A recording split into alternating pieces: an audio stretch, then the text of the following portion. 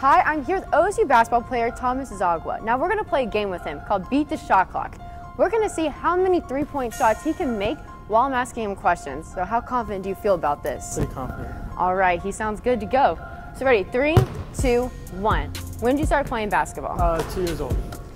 Any other sports? Uh, soccer, baseball, football, and volleyball. Game day rituals? Uh, listen to Mike Stud and hang out with the team. So what gets you in the zone before you go into a game? Uh, I kind of just sit in my locker and think to myself. Favorite hype song? Uh, Mike Stud uh, remix to Show Me. I'ma make you feel alright. If you weren't playing basketball, what would you be doing now? Probably just a normal student on a regular campus. Secret talent.